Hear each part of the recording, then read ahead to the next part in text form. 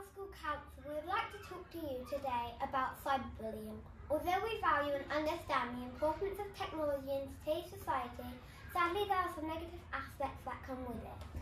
We are going to talk to you about what cyberbullying is and what actions should be taken if you or anyone you know become victim of cyberbullying. Cyberbullying is bullying online. Unlike bullying offline, online bullying can follow a child wherever they, they go via social networks, gaming, and mobile phone uses. Sadly, cyberbullying can have a negative impact on young people's lives that can last until adulthood.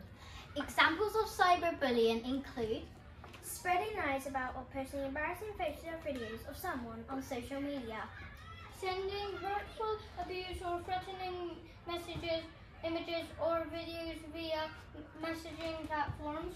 Impersonating someone and sending mean messages to others on their behalf or through fake accounts. So, what should you do if you're experiencing any of these unpleasant behaviours? At Two Mile Hill, we believe in block. B L O C K. Block. B. Block verbally. L. Leave the losers and leave the platform.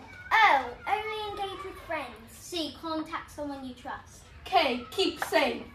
Please remember these five important actions. Let's stick together and defeat all cyberbullies. Block.